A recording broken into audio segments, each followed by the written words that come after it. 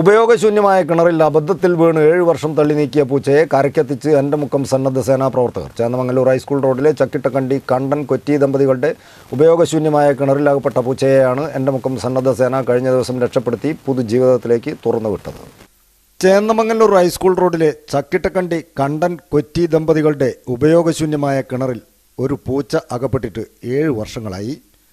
അബദ്ധത്തിൽ കിണറിൽ വീണുപോയ പൂച്ചയെ രക്ഷിക്കാൻ വീട്ടുകാർ നിരവധി തവണ ശ്രമിച്ചെങ്കിലും ഉപയോഗശൂന്യമായ കിണറിന്റെ അടിഭാഗത്തുണ്ടായിരുന്ന മാളങ്ങളിൽ പൂച്ച അഭയം തേടിയതോടെ പൂച്ചയെ രക്ഷപ്പെടുത്താൻ സാധ്യമല്ലെന്ന് വരികയായിരുന്നു.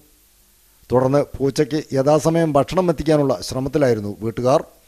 കുടുംബാംഗങ്ങളുടെ പരിചരണത്തിൽ കഴിഞ്ഞ ഏഴ് വർഷവും പൂച്ച ഈ കിണറിൽ താമസിച്ചു.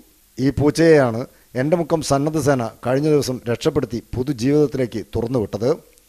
ഏഴു വർഷമായി കിണറിലാവപ്പെട്ട പൂച്ചയുടെ അവസ്ഥ അറിഞ്ഞ സന്നദ്ധ സേനാംഗം ഷബീർ പുൽപ്പറമ്പിൽ വിവരം ഗ്രൂപ്പിൽ പങ്കുവച്ചതോടെയാണ് പൂച്ചയെ രക്ഷിക്കാനുള്ള ശ്രമം നടക്കുന്നത്. ഉടൻ തന്നെ എന്റെ മുക്കം സന്നദ്ധ സേനാംഗവും വനം വകുപ്പ് ആർ ആർ ടി അംഗവുമായ കബീർ കളന്തോട് സ്ഥലത്തെത്തിച്ചേരുകയും കയറുകെട്ടി കിണറ്റിലിറങ്ങി പൂച്ചയെ രക്ഷിക്കുകയുമായിരുന്നു. ഷഫീഖ് ചന്ദമംഗലൂർ ജിനാസ് കുട്ടൻ ഷബീർ പുൽപ്പറമ്പ് എന്നിവരും മുനീഷ് കാരശ്ശേരിയും രക്ഷാദൗത്യത്തിൽ സഹായികളായി.